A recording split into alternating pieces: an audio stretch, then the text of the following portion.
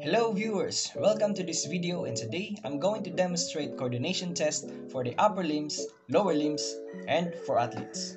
The first coordination test we have for upper limbs is called the finger nose test. The test is done by putting your index finger to your nose and then to your partner's index finger repeatedly. Then, your partner will move his or her index finger in any direction and you will follow your partner's index finger.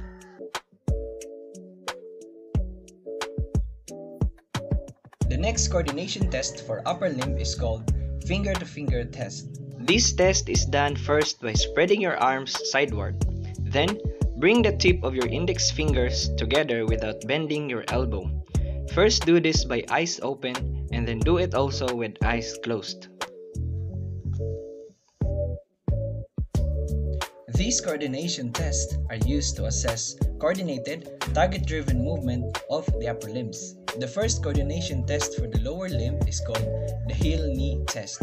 This test is done by placing the heel on the opposite knee and sliding it downward along the shin to ankle.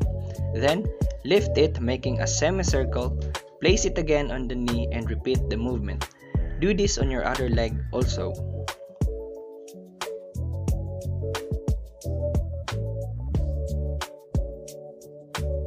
The next coordination test for the lower limb is called heel-toe test of gait. Walk in a straight line so that the heel of one foot comes directly in contact with toes of the other front.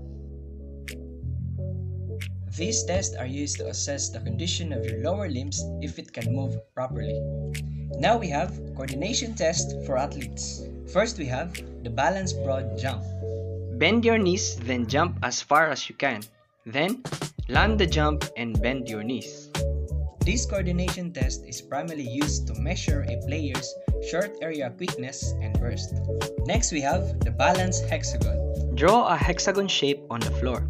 Get inside the hexagon. Then, jump outside the hexagon and then jump inside. Jump in each side of the hexagon.